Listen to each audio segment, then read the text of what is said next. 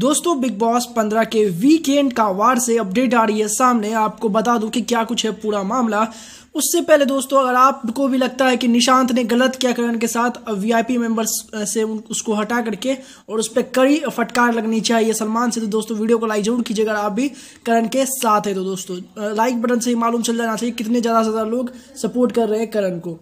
दोस्तों, आपको बता दूँ कि यहाँ पे वीकेंड का वार पे सलमान खान ने आँख खोले हैं यहाँ पे कहीं ना कहीं करण कुंद्रा की और कुछ बड़ी बातें उनको समझाने की कोशिश की है।